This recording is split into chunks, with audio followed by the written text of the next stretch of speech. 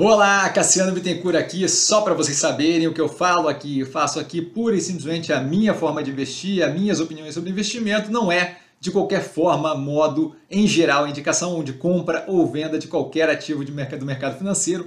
E agora o vídeo, valeu! Olá, Cassiano Bittencourt, pelo Visão do Estrategista, hoje para fazer a análise da tenda, tá? uma operação que eu fiquei bem surpreso positivamente, achava que ia, ia ser consideravelmente pior, tá? a operação. É, ela, opera, ela opera ali na construção civil de baixa renda, tá muito focada no Casa Verde Amarela ou Minha Casa Minha Vida, como você preferir chamar, tá? o antigo Minha Casa Minha Vida. Hoje, com uma operação também inicial, incipiente ali de off-site, tá? a chamada LEA, onde ela faz ali casas até 47 metros quadrados, explorando ali a possibilidade, eventualmente, de talvez começar a fazer 55 metros, mas a princípio casas bem pequenas. Tá? Ela faz a fabricação dessas casas numa fábrica, e aí a montagem é, dessa casa é feita no site, né? efetivamente, on-site. Tá? Mas é, a construção não é feita no padrão é, que a gente está acostumado de construir direto no site, no, no, no lugar, da, no, no, terreno. Né? O operacional financeiro pressionado, o que é mais do que esperado, dado o aumento dos custos de construção, que ficam evidentes ali pelo aumento do INCC, tá? o Índice Nacional de Construção Civil, sem condições de repasse integral de preços, especialmente trabalhando nessa faixa mais baixa, e estando ali um delta preso pela questão de é, limite de financiamento até um certo nível pelo, pelos planos do FGTS, né, acaba pressionando a margem bruta e, por conseguinte, os resultados um delta. Tá, os lançamentos e vendas em níveis bem positivos, é, se a gente considerar esse momento um pouco mais tenso para ela, tá, a consistência ali na capacidade de operar é algo bem positivo e com um aumento forte do VSO, das vendas sobre ofertas, né, que nada mais são do que a velocidade de venda dos empreendimentos ali, mesmo com repasse de uma quantidade considerável do aumento dos custos. Tá? Para mim, surpreende positivamente essa parte. A curva de margem bruta ajustada denota ali a pressão, tá? especialmente nesse período mais recente. A margem vem em queda, não vejo como permanente, então acho que eventualmente isso aqui é, deve é, retomar níveis mais, mais, é, mais, mais naturais, ali, mais históricos, mais próximos do, da média histórica da empresa. Tá? Antes da análise eu achei que fosse ser bem mais negativo isso daqui, tá? e como eu digo, de fato fui surpreendido positivamente. Tá? Isso, essa margem mesmo com o aumento dos preços, como a gente pode ver na tela, tá? que como dito, mostra ali tá? que a gente não teve um repasse integral desse aumento dos preços. A gestão se mostra disposta a continuar o repasse do aumento dos preços, tentando aumentar a margem, agora com uma redução de VSO, de venda sobre oferta, de velocidade de venda esperada, mas ainda assim a gestão vê como mais importante uma, uma retomada nas margens do que propriamente a velocidade de venda. Tá? Eles têm uma velocidade bem, bem forte, especialmente considerando é, o nível da faixa de preço dos imóveis.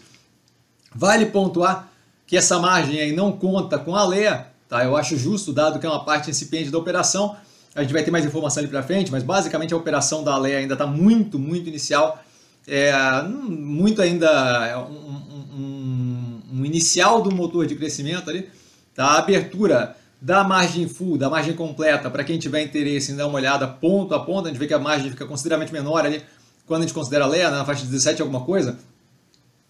Outro ponto positivo é a operação gerando lucro, mesmo durante esse momento mais pressionado, isso é sempre interessante. Tá? A operação tem firmado mais a posição do setor de baixa renda, tá? outras operações como a MRV que a gente tem em carteira tem diversificado, eu vejo essa diversificação como positivo, tá? mas daí garante um ganho de market share para a tenda que possivelmente coloca ela num bom posicionamento para o futuro. Tá? Então acaba sendo positivo, dado que ela começa a ter uma, uma, competição cada vez menor aqui, pelo tamanho, pela proporção que ela tem, ela acaba se beneficiando consideravelmente disso. Tá? O investimento na, na operação offsite eu também acho bem interessante.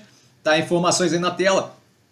Primeiro empreendimento lançado e bem recebido, tá? com aproximadamente 50% do empreendimento vendido em um mês ainda incipiente, a montagem da fábrica ainda em andamento, quando da teleconferência, está durante o período da teleconferência, não estou acompanhando para ver se foi feita a fábrica ou não, mas eh, nessa época ainda estava, tá? e ainda esperado 300 a 400 milhões de reais investidos até 2024, para que justamente isso daqui comece a querer se pagar como operação, tá? tanto de CAPEX quanto de OPEX, tanto de Capital Expenditure como Operational Expenditure. Então, gasto para rodar a operação e gasto em investimento de maquinário e por aí vai. Tá? Eu vejo como uma possibilidade interessante de motor de crescimento, então acho que de fato é, esse movimento aqui deles é bem positivo, casado ali com a com, com, com um aperto de margem, mas menos do que eu imaginava, acaba deixando a operação bem ok. Tá? A operação, como eu disse, então, ok, está alinhada para uma retomada, motor de crescimento bem interessante, deve dar, dar um espaço para a gente imaginar essa operação médio e longo prazo, especialmente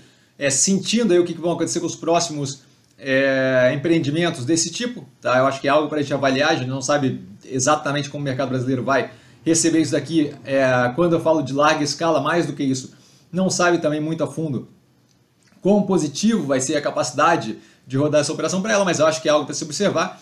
Tá? E mais, mais porém, desculpa, tá? porém, mas o mas, tá? a evolução do preço do ativo versus os pares que estão no portfólio, tá? levando em conta posicionamento e operacional financeiro, me fazem optar pelos ativos de carteira. A gente pode ver que ela tem um desconto frente a eles, mas o desconto não é suficiente para justificar na minha cabeça é, tanto o posicionamento como a MRV mais diversificada, a Cirela mais alta renda, Melnick é, vinculada a um mercado diferente, né, específico lá do, dos, da região metropolitana de Porto Alegre, tá? No Rio Grande do Sul, me fazem justamente ver mais interesse nos ativos do portfólio que também estão extremamente descontados. Eu vou observar a evolução da operação, mas nesse momento não tem interesse. Tá? Dúvida? Eu estou sempre no Instagram, arroba investir com sim, só ir lá falar comigo, não trago a pessoa amada, mas estou sempre lá tirando dúvida e vale lembrar que quem aprende a pensar bolsa opera com o mero detalhe. Um grande abraço a todo mundo e até amanhã. Valeu, galera!